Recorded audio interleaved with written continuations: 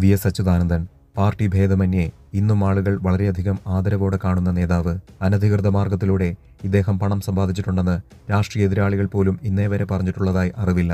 എന്നാൽ ഇദ്ദേഹം ചെയ്ത മൂന്ന് വലിയ തെറ്റുകളെക്കുറിച്ചാണ് ഈ വീഡിയോ.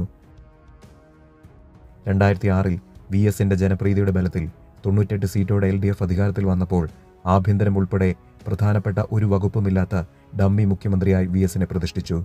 പാർട്ടി തീരുമാനമെന്ന പേരിൽ നടപ്പാക്കിയ ഈ ചതിയുടെ പിറകിൽ പാർട്ടി സെക്രട്ടറിയായിരുന്ന പിണറായി വിജയൻ തന്നെയാണെന്ന് തിരിച്ചറിഞ്ഞിട്ടും ഒന്നും സംഭവിക്കാത്ത ഭാവത്തിൽ ഒരു നിർഗുണനെ പോലെ വി എസ് പേരിന് മാത്രം ഒരു മുഖ്യമന്ത്രിയായി തുടർന്നു.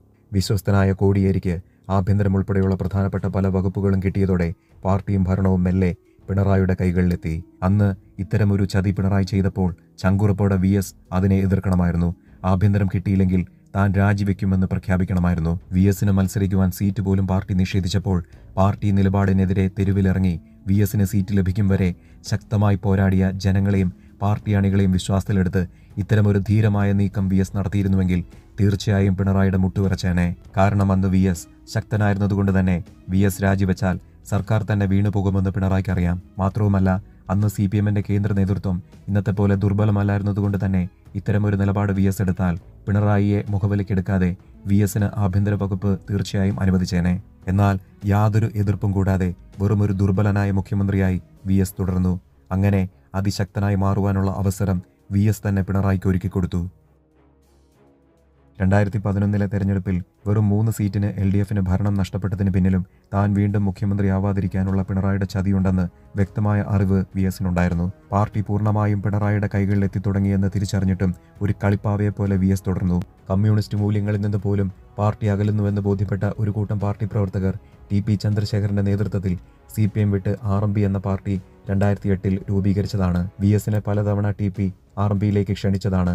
എന്നാൽ സി പി എം വിട്ട് എങ്ങോട്ടും പോകുന്നില്ലെന്ന നിലപാടിൽ വി എസ് ഉറച്ചു നിന്നു. ഒടുവിൽ രണ്ടായിരത്തി പന്ത്രണ്ടിൽ ടി പി എ അതിക്രൂരമായി സി പി എം ആസൂത്രണം ചെയ്ത് കൊലപ്പെടുത്തിയപ്പോൾ ടി പിയുടെ വീട്ടിൽ പോയി പൂങ്കണ്ണീർ ഒഴുക്കിയതല്ലാതെ പിണറായിയുടെ നിർദ്ദേശപ്രകാരമാണ് ഈ ക്രൂരകൃത്യം നടന്നതെന്ന വ്യക്തമായ ബോധ്യമുണ്ടായിട്ടും പിണറായിക്കെതിരെ ഒരക്ഷരം മിണ്ടുവാനുള്ള ആർജവം വി എസ് കാണിച്ചില്ല.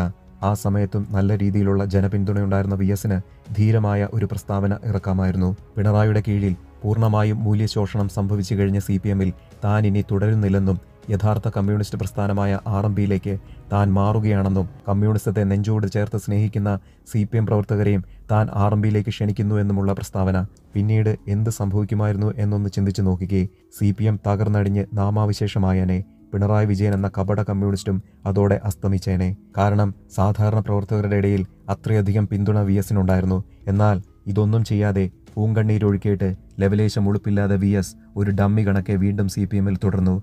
പിണറായി വീണ്ടും പാർട്ടിയിൽ ശക്തനായി വളർന്നുകൊണ്ടേയിരുന്നു. രണ്ടായിരത്തി പതിനാറിൽ പിണറായി മത്സരിക്കുന്നുണ്ടെന്ന് അറിഞ്ഞപ്പോഴേ വി എസ് തിരിച്ചറിയണമായിരുന്നു മുഖ്യമന്ത്രി കസാര ലക്ഷ്യം വെച്ചുകൊണ്ട് തന്നെയാണ് പിണറായി കാത്തിരിക്കുന്നതെന്ന്. അപ്പോൾ തന്നെ കളങ്കിതനായ പിണറായിയോടൊപ്പം നിയമസഭയിലിരിക്കാൻ താല്പര്യമില്ലാത്തതുകൊണ്ട് താൻ മത്സരിക്കുന്നില്ലെന്ന നിലപാട് വി എസ് എടുക്കണമായിരുന്നു. അതോടെ തെരഞ്ഞെടുപ്പിൽ നിന്ന് പിണറായിക്ക് പിൻവാങ്ങേണ്ട സാഹചര്യമുണ്ടായേനെ. കാരണം ജനപിന്തുണ വി എസിനൊപ്പമാണല്ലോ. എന്നാൽ ഇതൊന്നും ചെയ്യാതെ പതിവ് പോലെ ഒരു മരമണ്ടനെ പോലെ തെരഞ്ഞെടുപ്പ് പ്രചരണത്തിന് മുഴുവൻ ചുക്കാൻ പിടിച്ച് താൻ തന്നെ മുഖ്യമന്ത്രിയാകുമെന്ന പ്രതീതി വി എസ് തന്നെ ജനങ്ങളുടെ മുൻപിൽ സൃഷ്ടിച്ച് പിണറായിയുടെ ജോലി എളുപ്പമാക്കി കൊടുത്തു. ഒടുവിൽ തെരഞ്ഞെടുപ്പ് വിജയിച്ചു കഴിഞ്ഞപ്പോൾ വിവേകമുള്ളവർ മുൻകൂട്ടി കണ്ടതുപോലെ തന്നെ പൂച്ചക്കുഞ്ഞിനെ എടുത്ത് കളയുന്നതുപോലെ വി എസിനെ കഴുത്തിന് തൂക്കി വെളിയിൽ കളഞ്ഞ് പിണറായി മുഖ്യമന്ത്രി കസേരയിലെത്തി. അപ്പോൾ ചുരുക്കത്തിൽ കേരളത്തെ ഇന്ന് സർവനാശത്തിന്റെ വക്കോളം കൊണ്ടെത്തിച്ചതിൽ വി എസിന്റെ ഈ മൂന്ന് തെറ്റുകളും വലിയ രീതിയിൽ പങ്കുവഹിച്ചിട്ടുണ്ട്.